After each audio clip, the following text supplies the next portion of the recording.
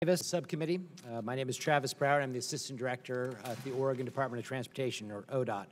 I want to thank you for the opportunity to appear before you today, and I particularly want to thank Chairman DeFazio for his leadership on transportation issues and all he has done over three decades of service on this committee to make our nation's transportation stronger. It's interesting to be here talking about tolling because Oregon and ODOT, we don't operate any toll roads currently. But that could change in coming years as the clamor from the public for relief from the gridlock that is gripping the Portland metro area has led our legislators to direct ODOT to implement tolling. Data show that the Portland metro region's congestion is bad and getting worse due to rapid population and job growth. In just two years, from 2015 to 2017, hours of congestion increased by 13% across the region, and daily vehicle hours of delay increased by 20% and that was on top of a similar increase in the previous two years.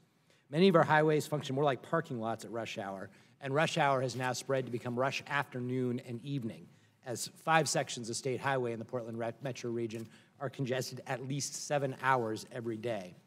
Residents and businesses across the state increasingly are complaining to legislators and ODOT about how, about how congestion in Portland poses a growing threat to our state's economy making it more costly for companies across Oregon to get their goods to market.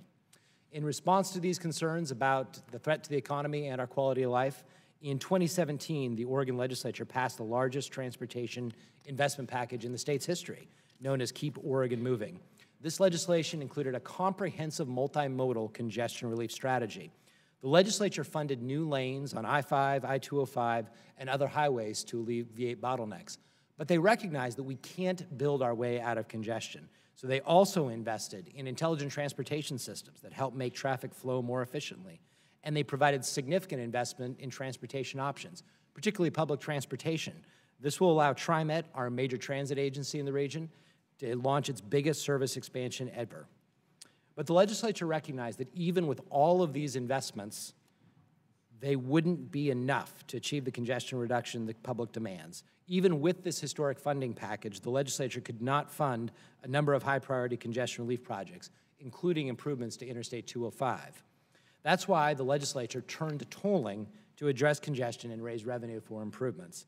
In Keep Oregon Moving, they directed the Oregon Transportation Commission, ODOT's governing body, to implement tolling on both I 5 and I 205, our main north south corridors in the region that carry the bulk of our freight and face the worst congestion. Faced with this legislative mandate, the Commission engaged regional stakeholders and created a public engagement process that reached members of the public more than 46,000 times. They created a stakeholder advisory committee made up of local government officials, the trucking industry, advocates for low income communities, and others. The Commission charged this group with developing a recommendation for where we could use tolling to reduce congestion and how to address the potential impacts. We analyzed options for tolling along the I 5 and I 205 corridors, including managed lanes, tolling all lanes, and tolling bridges. After detailed analysis, managed lanes like high occupancy toll lanes and express toll lanes fell by the wayside. We simply didn't find any location where these would offer significant congestion relief.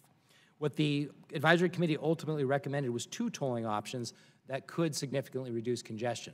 First, uh, implement variable rate tolling on I 5 through the core of the Portland metro region. The American Trucking Research Institute recently ranked this the 28th worst truck bottleneck in the nation. Tolling would be implemented in conjunction with a congestion relief project that will add lanes at the interchange between I 5, I 84, and I 405. Tolling could help pay for this and other improvements. Second, toll on or near the Abernethy Bridge on Interstate 205. This section of I 205 is just two lanes in each direction, and we're designing a project to widen that section of highway. But neither the legislature nor ODOT has been able to find the half billion dollars needed to fund that project. Tolling offers a potential way to fund some or all of it. In addition to recommending where tolling could benefit the public, the committee also looked at, at some of the areas where we'll need to mitigate potential impacts of tolling. They asked the commission to find ways to avoid diversion of traffic onto local streets, to ensure that tolling doesn't cause significant issues for low income families, who may not be able to afford tolls and to ensure that there's good transit service so that people have another option to get around. The Commission is moving forward on these recommendations and we're developing an in-depth public involvement process that will answer many of these questions. Ongoing public engagement is going to be critical because we know that we, in order to be successful, we need to address the public's concerns and show how tolling can improve their ability to get around efficiently. We are a member of the American Association of State Highway and Transportation Officials, or AASHTO. AASHTO supports increased tolling flexibility to allow states to maximize revenue-raising opportunities in light of some of the federal funding challenges that Congressman DeFazio mentioned.